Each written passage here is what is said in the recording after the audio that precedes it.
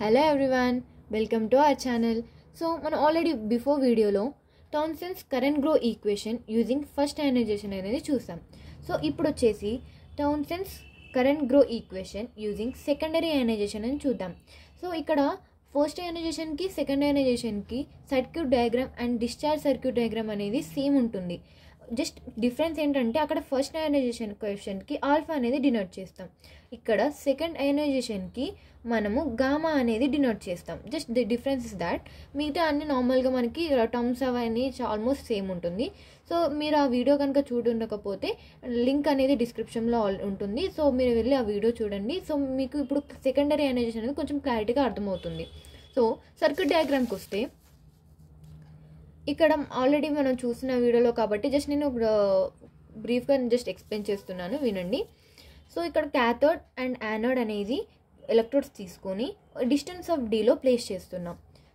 ఇక్కడ మనకి క్యాథోడ్ అనేది తెలిసినట్టు నెగిటివ్ అండ్ యానోడ్ అనేది పాజిటివ్ ఉంటుంది సో ఇక్కడ కరెంట్ లిమిటింగ్ రెసిస్టర్ అండ్ ఒక వోల్టేజ్ అనేది అప్లై చేస్తున్నాం ఇక్కడ క్యాథోడ్ మీద ఒక హై వోల్టేజ్ అనేది అప్లై చేస్తున్నాం సో ఇప్పుడు ఆ హై వోల్టేజ్ అప్లై చేస్తున్నప్పుడు మనకు వచ్చే రియాక్షన్స్ అనేవి మనం ఫర్దర్గా చూసుకుందాం సో మనకి ఇక్కడ టౌన్సిల్స్ డిశ్చార్జ్ అరేంజ్మెంట్ అనేది ఇలా ఉంటుంది cathode anode the D cathode is the distance of X and the two electrodes at the distance of the D మనం ఇప్పుడు ప్రాబ్లంకి వచ్చేస్తాయి ఫస్ట్ ఇక్కడ మనం టర్మ్స్ అనేవి సెకండ్ ఆర్డర్ అయనైజేషన్కి సెకండ్ అయనైజేషన్కి మనం టర్మ్స్ ఎక్స్ప్లెయిన్ చేసుకుందాం first N naught N naught అంటే ఏంటి electrons emitted from the cathode so cathode నుంచి ఎలక్ ఎమిట్ అయిన ఎలక్ట్రాన్స్ని మనం ఎన్ నాట్తోని డినోట్ చేసుకుంటాం so electrons emitted from the cathode are denoted by N two next మనం చూసుకుంటే ఎన్ ప్లస్ సో మనకి ఇక్కడ ఫస్ట్ అయనైజేషన్కి సెకండ్ అయనైజేషన్కి డిఫరెన్స్ ఇక్కడ సో ఇక్కడ తెలుస్తుంది అనమాట సో మనకు అక్కడ జస్ట్ ఎన్ నాట్ ఎన్ఎక్స్ అనేది దాంతో డినోట్ చేస్తాం బట్ ఇక్కడ మనం ఎన్ ప్లస్ అనేది డినోట్ చేస్తున్నాం సో ఎన్ ప్లస్ అంటే ఏంటి number of electrons emitted at cathode at cathode so ఇక్కడ ఇక్కడ చూసుకుంటే ఎన్ నాట్ అనేది electrons emitted from the cathode so cathode నుంచి ఎలక్ట్రో ఎమిట్ అయిన ఎలక్ట్రాన్స్ అనేవి ఎన్ నాట్ కానీ ఇక్కడ వచ్చేసి number of electrons emitted at the cathode అంటే క్యాథోడ్ దగ్గర ఎమిట్ అయిన electrons because of the positive ion impact positive ion impact అంటే electrons emitted at the cathode because of the positive ion impact ఈ positive ion impact వల్ల ఎల emit అయిన electrons cathode దగ్గర దాన్ని ఎన్ ప్లేస్తోని డినోట్ చేసుకుంటాం అనమాట సో ఎన్డి ఇక్కడ ఎన్డి అంటే ఏంటి number of electrons at cathode, sorry, at the uh, anode. So next vachesi number of electrons released from gas molecule. So manaki number of electrons release from the gas molecule so ఇక్కడ మనం చూసినట్టయితే ఈ cathode anode దాని మధ్యలో మనకి almost gas మాలిక్యూలే ఉంటుందన్నమాట so ఆ gas molecule నుంచి రిలీజ్ అయిన ఎలక్ట్రాన్స్ అనేవి మనం ఇక్కడ n d is equals to n naught e power alpha డీతోని denote చేస్తున్నాం సో దీన్ని ఫస్ట్ ఈక్వేషన్ అనుకుందాం సో ఎన్డి అంటే ఏంటి number of electrons at the cathode and n naught అంటే electrons emitted from the cathode so ఇక్కడ మనం alpha D అనేది alpha అంటే మనకి ప్రైమరీ అయోనైజేషన్ అండ్ డి అంటే డిస్టెన్స్ సో ఎన్డి ఇది goes to n naught plus n plus e power alpha d so దీని ఎన్డిని మనం ఇక్కడ యాక్చువల్గా అయితే మనకి నెంబర్ ఆఫ్ ఎలక్ట్రాన్స్ అనేది ఒకటే లేదు ఇక్కడ మనకి ఇంకా ఇక్కడ ఒకటి ఎక్స్ట్రా అనేది యాడ్ అవుతుంది ఏంటది number of electrons emitted at the cathode so ఈ రెండింటిని యాడ్ చేసుకుంటాం అనమాట ఇక్కడ క్యాథోడ్ నుంచి రిలీజ్ అయిన ఎలక్ట్రాన్స్ని అండ్ క్యాథోడ్ దగ్గర రిలీజ్ అయిన ఎలక్ట్రాన్స్ని రెండు యాడ్ చేసుకొని మనకి కోఎఫిషియంట్ అనేది పెట్టుకుంటున్నాం సో ఎన్డి ఇది goes n naught plus n plus e power alpha d ఇప్పుడు మనము మనకి ఎన్ ప్లస్ వాల్యూ కావాలి సో మన ఎన్ ప్లస్ వాల్యూ కావాలంటే ఎన్ ప్లస్ ఇది goes n d minus n naught plus n plus whole of gamma so ఇక gamma అంటే తెలుసు కదా సెకండరీ అయనైజేషన్ కోఎఫిషియంట్ గామా వచ్చేసి సెకండరీ అయనైజేషన్ కోఎఫిషియంట్ సో దీన్ని ఎన్ ప్లస్ ఇది ఈక్వల్స్ టు సో దీన్ని మనం మల్టిప్లికేషన్ చేద్దాం n d gamma minus n naught gamma so ఇక్కడ మైనస్ ఉంటాం plus minus n plus gamma so వచ్చేసి మనకి ఈక్వేషన్ వచ్చేసి ఇలా ఉంది సో మనకి ఇక్కడ n plus and n plus టర్మ్స్ని ఒక దగ్గర పెట్టుకుంటే ఎన్ ప్లస్ ఇక్కడ తెచ్చుకుంటే మైనస్ కాబట్టి so plus n plus gamma ఇది goes to n d alpha minus n naught sorry gamma so మనకి ఇక్కడ ఎన్ ప్లస్ అనేది కామన్ తీసుకుంటే వన్ ప్లస్ గామా ఇది equals to ND gamma minus N naught gamma ఇక్కడ మనం నెక్స్ట్ ఇక్కడ మనకి గామా అనేది కామన్గా ఉంది సో ఇప్పుడు దాన్ని కామన్గా తీసుకున్నాం కామన్ తీసుకుందాం గామా ఇది goes to n d minus n naught so మనకి ఇప్పుడు ఎన్ ప్లస్ కావాలి కాబట్టి దీనికి ఉన్న క్వశ్చన్ని పక్కన పంపిద్దాం ఎన్ ప్లస్ ఇది goes gamma n d minus n naught by one plus gamma దీని వచ్చేసి థర్డ్ ఈక్వేషన్ అనుకుందాం సెకండ్ ఈక్వేషన్ వచ్చేసి దీన్ని అనుకుందాం సో మనకి ఇక్కడ ఎన్ ప్లస్ వాల్యూ అనేది వచ్చింది సో మనం ఈ ఎన్ ప్లస్ వాల్యూని ఎక్కడ సబ్స్టిట్యూట్ చేయాలి సెకండ్ ఈక్వేషన్లో సబ్స్టిట్యూట్ చేయాలి so substitute equation 3 in equation two మరి ఈక్వేషన్ టూ ఏంటి ఎన్ ఇది goes to n naught plus n plus e power alpha d so మనకు వచ్చిన ఎన్ ప్లస్ వాల్యూని ఇక్కడ సబ్స్టిట్యూట్ చేసుకుందాం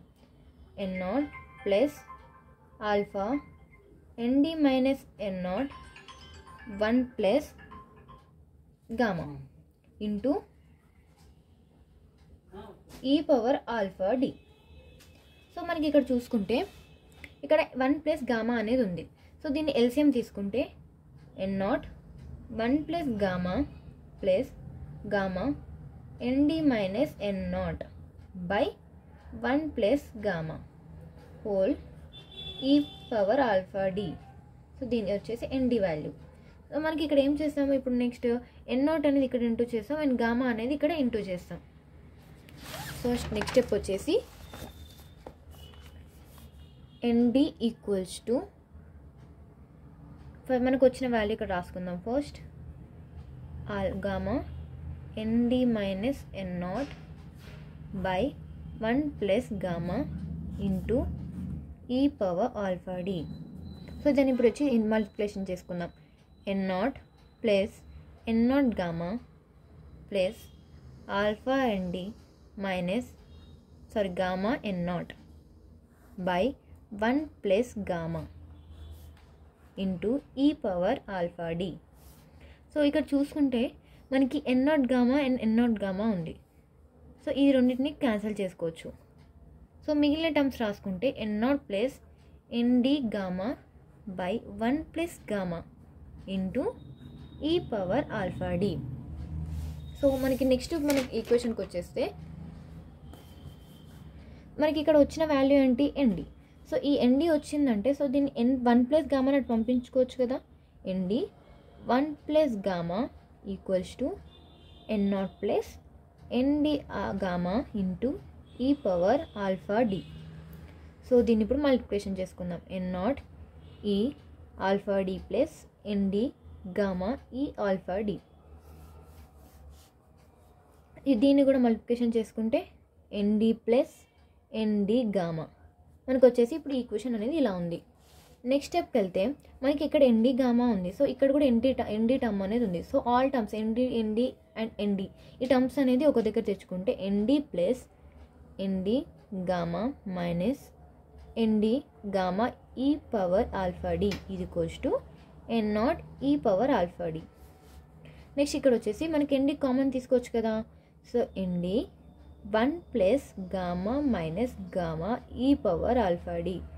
equals to n naught e power alpha d d ఇది equals to so ఈ క్వశ్చన్ టైం అనేది కిందికి పంపించుకుందాం so డివిజన్లకి n naught alpha d by one plus gamma minus gamma e power alpha ఇక్కడ వచ్చేసి మనకి గామా అనేది కామన్గా ఉంది సో దాన్ని కామన్ తీసుకుందాం one plus gamma one minus e power alpha d just change in the equation n naught e power alpha d by one plus so దీన్ని మనము ఇక్కడ one e power alpha d minus one అని రాసుకుంటే మనకి minus కామన్గా వస్తుంది so అప్పుడు మనకి ఈక్వేషన్ అవుతుంది one minus gamma e power alpha d minus one so మీకు అర్థం కాకపోతే ఒకసారి వినండి alpha d one minus e power alpha d so మనకి ఈక్వేషన్ వచ్చి ఇలా ఉంది సో మనము ఈ టర్మ్ని మనం గామా ఇక్కడ నుంచి మైనస్ కామన్ తీసుకుంటున్నాం minus e power alpha d minus one so ఇక్కడ ఉన్న ప్లస్తోని ఈ మైనస్ అనేది ఇంటూ అవుతుంది అప్పుడు ప్లస్ ఇంటూ మైనస్ మైనస్ అవుతుంది సో ఇక్కడ సేమ్ అదే రాస్తా one minus gamma into e power alpha d minus one so ఇప్పుడు ఈక్వేషన్ అనేది మనకి ఎండి అనేది ఈక్వేషన్ వచ్చింది so in terms of the electrons మనకి వచ్చింది so in terms of current రావాలంటే divide by t on both sides divide by t on both sides both సైడ్స్లో divide by t చేస్తే అప్పుడు మనకి ఐడి ఇది equals to I naught e power alpha d by one minus gamma e power alpha d minus one so ఇది వచ్చేసి మనకి in terms of current ఇది వచ్చేసి fifth equation so మనం దీన్ని ఏమంటాం it's equation is called as second ionisation second ionisation equation so మనకి ఇక్కడ ఈ ఈక్వేషన్ని సెకండ్ అయనైజేషన్ ఈక్వేషన్ అంటాం అండ్ ఇక్కడ ఈ టర్మ్ వచ్చేసి గామా టర్మ్ని వచ్చేసి సెకండ్ అయనైజేషన్ కోఎఫిషియంట్ అంటాం సెకండ్ అయనైజేషన్ కోఎఫిషియంట్ అంటాం సో మనకి ఇది మొత్తం వచ్చేసి మనకి ఇన్ టర్మ్స్ ఆఫ్ యాక్చువల్గా ఇక్కడ మనకి గామా కూడా ఉంది అండ్ ఆల్ఫా కూడా ఉంది సో మనకి టూ టర్మ్స్ ఉన్నాయి అంటే ఇది ప్రైమరీ అండ్ ఇది సెకండరీ సో మనకి ఇప్పుడు Townsend's current equation because of primary and secondary question in terms of primary and secondary question అని కూడా అనొచ్చు దీన్ని సో ఇది మనకి ఎనర్జేషన్ ఈక్వేషన్ ఆఫ్ సెకండ్